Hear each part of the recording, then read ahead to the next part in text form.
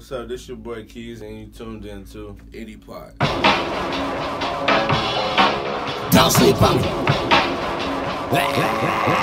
What's that beat you gotta feel? That's it.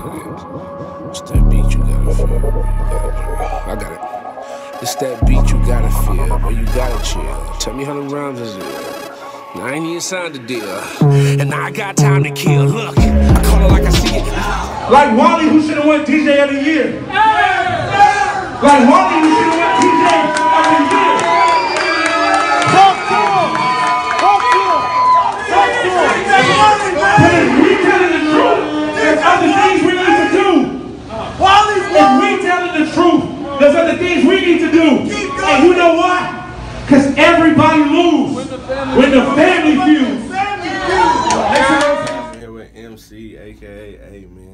Town Town Town. What's happening, brother? What's going on with you, dog? Man, chilling, chilling, chilling, man. A lot's been going on, you know what I'm saying? Fashionably, uh, musically, lyrically. You know what I'm saying? I've been having a whole lot of people tell me like, man, that last dude was stole. That that last dude that performed on the Indy Pot stage was cold. That was uh, my brother-in-law, some random people told me that. You know what I'm saying? I'm like, oh yeah, that's MC. You know what I'm saying? So, for the people that don't know MC, you know what I'm saying? Tell them who MC is as an artist and, and you know what I'm saying, what type of music you make. Uh, I'm just a rapper, dog. Like Mhm. to be honest with you, I don't know, bro. I don't really know what kind of music I make because I just make music. Like Yeah.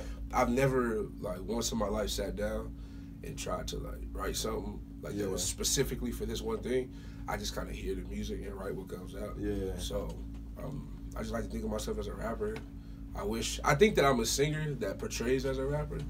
Like I think that I, because honestly, if I could sing, I'd never rap again. Yeah, I High feel key, you. if I could sing, I would never rap. I feel you, bro. I be feeling like that sometimes. I'm like, man, if I could just hit this Bro, note, I sing everything all the time. on me. When I nobody's you, girl. I see why people be annoyingly singing now. You know what I'm Yeah. saying? Like they just Yeah. sing and sing and sing because they can.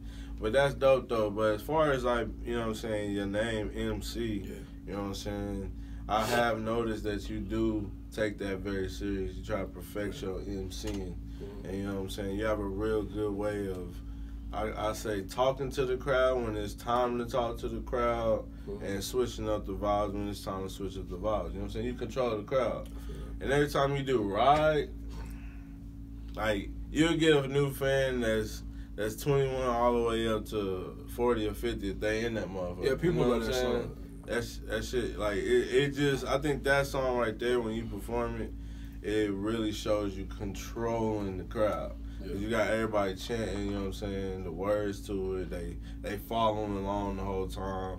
So when did you notice? Like when did you take notice that you could control the crowd? Because that's one thing. Some artists don't know how to do that yet. Mhm. You know what I'm saying?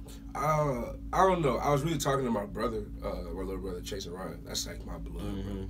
So I was talking to him about that just the other day, just Shout about out things. Chasing Uh, Ryan. shout out Chasing Ryan. Mhm. Shout out Chasing Ryan. You know what I If y'all don't know who Chasing Ryan is, you're about to know who Chasing Ryan On is. me. Major love to Chasing Ryan. He got a project, best project that came out in town last year. That and Triple S by St. Dom. My little brother Chasing Ryan dropped a project called If I Know, produced Yeah. by Medicine. Yeah. And it was one of the dopest projects that come out last year. And he made all his own beats. Yeah. So Chasing Cold. Ryan was one of the. Cold. But I was talking to him. I was, he asked me the same question. Uh, I, I don't know when it really started. I just know that I was when I was a kid. Um, Yeah. I used to get in trouble a lot for talking. hmm Like I was, I wasn't really a bad kid. I just talked a lot. But that's me, bro. Like it'd be like, but the craziest part is, is like when my teachers would have my mom come into the school or the principal would call, they would say stuff all the time like, "Man, it's just such a leader. He's such a, he's such a great kid. Yeah. If he could just learn to control his mouth." And I remember that like, I used to think that that's just something that they said Yeah. to like all the bad kids in school. Yeah. Like, but when I got to about seventh grade, I started to realize that.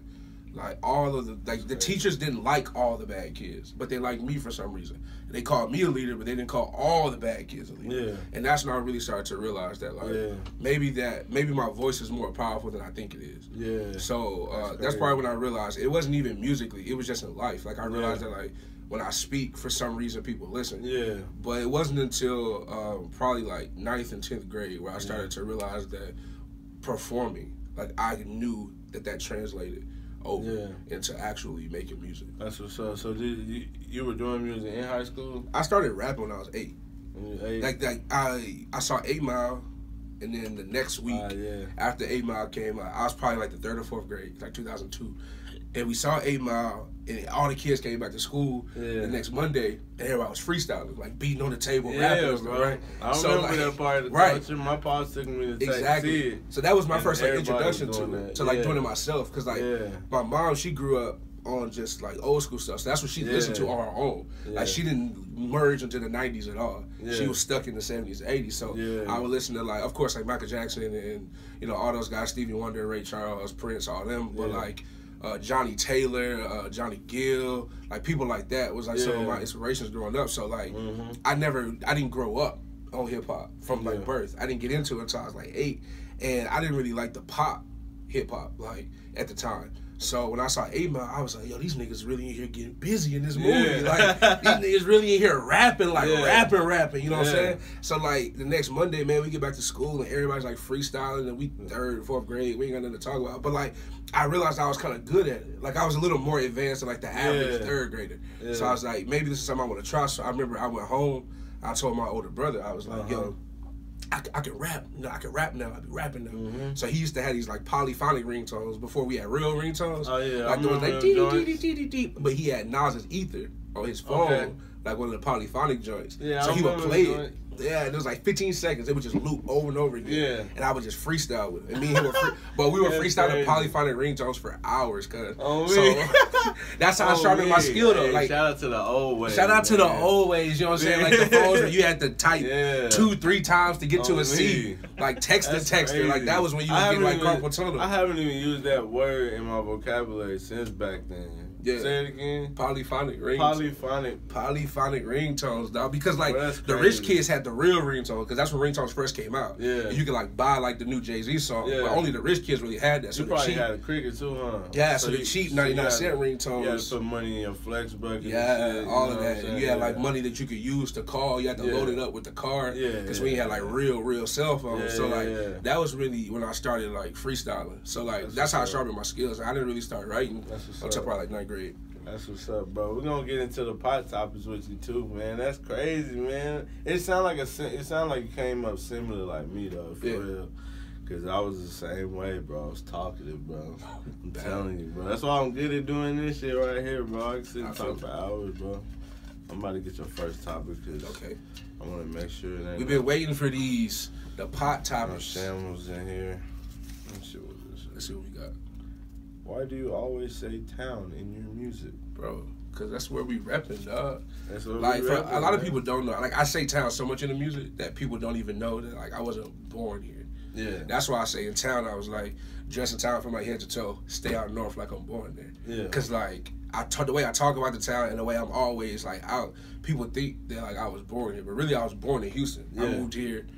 I was like 12 or 13. So Uh-huh. like, but I became a man here. I became an adult here. Yeah, like for all of my formative years of like really who I became as a person and who I turned into was Yeah. here. So that's why I yell town in my music. That's what's As a shout out to the people that helped me become the person that I am in the city that I love. That's why I don't like claim and rep Yeah. Houston hard. Like I rep Tulsa. That's what's up. When I first seen the town design, I was like, damn, that's perfect. Not the town, not thug town, Just town. town. That shit is It's beautiful, simple, bro. it's and, clean. and, and it's universal. Mhm. You know what I'm saying? You can be from anywhere. And that's what it was when we did like the hoodies and the sweatsuits. It was like I was scared because to me I was nervous that people weren't gonna get it. Cause to me, town is Tulsa. Yeah. This is the town. Yeah, this is the town. But I wanted people to rep their town and it be for what it meant to them. So like there's a lot of people that bought like town hoodies from like other places, like New York and Atlanta and Chicago, like random places like that because it's about like your town. So I'm glad people really caught it. So that's why we yell in town, man, just That's to show what's up, respect to where you come from. hey, man. If you don't know, it's town, town, town, man. Grab your next topic, bro. Let me see what we got here. Let's, let's get in here. Right with the Dez got Steez. Is she on both sides? Shout out to Dez got Steez. Hell yeah. You know what I'm saying? You gotta show mad love to Dez. I wish I had a honey bun cake right now, man. Let me see. Let's see. One thing you would love to see change in Tulsa. Mm. To be I, okay, so I could talk about this all day. So I'm gonna say one. I'm gonna stick to it. One thing, and that would probably be I would like to see some. I would like to see one platform, one media platform, that has all of the Tulsa artists, so that people knew where to go whenever they were looking for Tulsa music, and that's not just hip hop, R and B, Yeah. rock bands, country bands that just do covers. Like Yeah. I want to see a database where people can go to like a website like an XXL or a Complex Yeah. or something like that, Okay. and you can see who's who. Because a lot of times, Okay. if you want to know who the talent artists are, it's really up to you to find out and ask around. But there's not like an easy and accessible way to find out who everybody is and where all the music Exactly. is, where the shows are. There's a lot of different platforms like Indy Pot, Twenty on the Town. You know, you got the Tulsa Tulsa World, Tulsa Yeah. Boys, World Culture Music, all this other kind of stuff. I would like to see one that's encompassing with everybody. So that everybody that makes music knows who each other is. And I think at that point, that's when you get niggas like Dom to do features with like rock bands out here and stuff like that. That's how you get niggas like Steph out here. Mm-hmm. Yeah. You know what I'm saying? Being Yeah. able to do more stuff because now you know and see where everybody is. So that's Yeah. the one thing I would change. That's crazy, bro. That's a genius, genius, genius, genius, genius point, bro. you need it. I never even thought about that. Like, you know, of course, we try to do what we can to give everybody they they platform. You know what I'm saying? Different Yeah. networks and different groups, different. You know what I'm saying? Clicks or whatever Yeah. you want to call them. But you're right. There ain't one database for everything, Yeah, man. And Like, that's what we need, man. We need one website where like, you know, Indy Pot can contribute, Twenty on the Town contributes. We got people that do actual write ups, reviews, What- like stuff like that to kind of like What's bring everybody together. We'll touch bases more on that. That's a, that's a genius idea, though. Let's grab the next topic, bro. It's the last one, right? Let's see what we got here. I'm ready to get you on that rapid fire, too, though. Oh, the rapid fire. Let's see what we got. How would you handle the beef between Drake and Pusha T if you were Drake?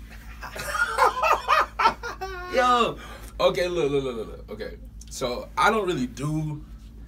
I don't know, cause like I don't really, I don't feel. I feel like Drake had nothing to prove to me personally. Yeah. Like I feel like every quality rapper that ever was gonna come at Drake was gonna be handled the same way. Yeah. Like everybody's gonna gas up the underdog because we all love underdogs. Mhm. That's why we want everybody want the Cavaliers to win the finals, and before that, everybody want the Heat to lose because you want to see the big dog lose. Yeah, bro. So to me, if I was Drake, I personally wouldn't have even responded. I thought it was kind of a waste of a response. Now Duppy was hard, but so was infrared because Pusha T is also nice. You know, so I think that you know, and then the story of what was the story of uh, Adidon or whatever it was didn't called. like. I really thought that it was a reach personally. So I'm glad that Drake didn't respond to it because I don't think that Push said anything in Yeah. that that mattered. yeah. I thought all of Push's best I'm- diss records was, I mean, the best diss bars was in infrared. So I think that Drake responded with Duppy, and he didn't respond after Yeah. that because he didn't really have to. So me, I would have never responded in the first place though. yeah. 'Cause- Yeah, I feel you. For what? I, I feel you. You know, back to back is one of the coldest diss songs. Back to back is top you know what five. I'm saying? Back to back, back to back is And- top five diss record all time. And Meek Mill will never try that again. But I do feel like for competition. Now, look, I'm not a huge Drake fan, Mhm. but I have. It's it's kind of like how I look at LeBron and Kobe. I'm not the. I'm not a fan of them. At one point, I didn't like them, Mhm. but I have the utmost respect for them, 100. percent You know what I'm saying? And I just said it the other day. If Drake get on it, bro, he's gonna make the song ten times harder, bro. Right. Drake is is is a goat when it comes to that. You know what I'm saying? Mhm. And I felt like Pusha just didn't touch his pedestal at all, nigga. Like he didn't get on the niggas level at all. Oh, you know what I with think, his though? diss, bro. Drake is so cold, bro. Well, I think that the He only problem. so cold, bro. I think the only He can't be messed with, bro. I just think the only problem with Pusha was that he didn't say nothing we didn't already know. Yeah, Like not that's relevant. my only thing is that I And feel like if I was relevant right now. well, no, Push is super relevant. I think Push is dope. Bro, Push I came honestly, up listening to Clipse, bro. I bought I- that first album when they came out. You hear me? I like That Push. uh, that was ninth grade for me. We was beating on the table. Yeah. You know what I'm saying? Yeah. You hear me? We was doing that ninth grade. I bought that album. Yeah. But Kanye is his crutch. You know what I'm saying? Him I mean- being part of that, that on that on that camp, that's his crutch. But I don't feel like he's fucking with Drake. No, no, no, no, no. He's, he's definitely not touching Drake. all, nigga. but but if if we being honest with you, the only person in the industry that's touching Drake right now is Kendrick. That's the only person. So like, if you're talking about Yeah. uh, I can see healthy competition, they I'm not responding to nobody that's not that I don't feel like it's on the same tier as me. Me personally, I don't feel like it's necessary. I felt like What's the name killed it though? Drake killed. He he killed he killed that freestyle. Bro. I mean, I just think Push needs to say more stuff that we didn't know. Like we knew about the baby, we knew that his dad wasn't in his life because we've been listening to Drake's music, so we know his dad wasn't in his earlier stages of his Mm-hmm. Life. We knew everything that Push said. We already Yeah. knew. The reason why I like back to back, or the reason why I like a Ether, or the reason why I like Takeover, the reason why I like No Vaseline, is Yeah. because they told us stuff that we didn't already know. Yeah. Like when I heard Tupac hit him up for the first time. Now I was it, that was after it already been out for years because I, uh, I mean I was born in '93. So like to me though, it's like to, I feel like they said stuff that we didn't know already. Yeah. They said stuff that was like the bars was hard, Oh, yeah. the insults were straight to the point, and they gave us some stuff that we didn't know about the other person. Yeah. And to me, Pusha just didn't do that. Like he didn't say nothing that we didn't already know. Yeah. So to me, I wouldn't even responded because Drake already addressed the Now he said he's taking it slight way. You know what I'm saying? But He's he also said it's over now, though. See, I personally was for it when he said it was going to be a surgical summer. He was like, I'm exposing this nigga all summer. I was like, Okay, yeah, man. push, expose that nigga all summer then. But then he backed off and I'm like. When he backed off it, I'm like, you backed off your words, though. I thought it was going to be a surgical summer. Expose this nigga then. Like, if you got Drake, because he had Drake on the ropes. Like, if you got the king on the ropes, or you got the, the, the, the lead nigga in the game on the ropes, and you the underdog, bro, you better not, you better take his head off. That's why Cleveland needed to win game one. If Cleveland was gonna beat Golden State, they had to win game one. I don't even want to talk about them. Uh, I'm just saying, when you got the king on the ropes, you no got to cupcakes in this interview. Back, uh, to the uh, uh, to the top of the discussion. We're going to rapid fire right now. Okay. You know what I'm saying? About to get into the young rapid fire with MC. Got ten questions. Okay. Are you ready? All right, let's do this. I'm ready. Number one, favorite actor. Mm, Jamie Foxx, greatest of all time. If you had one million dollars, Uh, what would I do with it? I would pay my debt, build a studio. if you could change Hold a second, and then hire medicine to stay here and not move to Miami. That's what I'm doing. I'm, I'm, I'm literally I'm paying my debt, building a studio, hiring medicine as the engineer of the studio. and if you could change one thing about Tulsa, Uh, the same thing I said earlier. I would just create that. I would have that database created, that website created, that media platform, so everybody could get the opportunity, a fair opportunity they deserve. Taco Bell or Taco Truck. Taco trucks, bro. I saw Chase and Ryan said Taco Bell, and I almost, I was watching. them, I'm like Taco Bell. Get the, bro. Come on. Favorite animal. None, man. I don't really. I'm not an animal guy. Corporate or independent. Independent. Spend it or save it. Save it. Dream car. Uh, Chevy Cruze. Talk or text. Call me. I'm a bad texter. And if you had one superpower, what would it be? I would like to be able to teleport. I hate driving. For the unanimous, the unanimous winner of all rapid fire questions, teleporting is the answer. Teleport is always the answer. It's always the answer, man. You won you a lifetime supply of Murray's hair grease Yeah. and a Dollar General do rag. I feel the This bullshit. We about to get this nigga to sign. Right foot, take two. Let me see. I should sign my name over Chase and Ryan's. That's what I should do. But since that's my little dog, I'm gonna go ahead and just sign it right next to him. Yeah.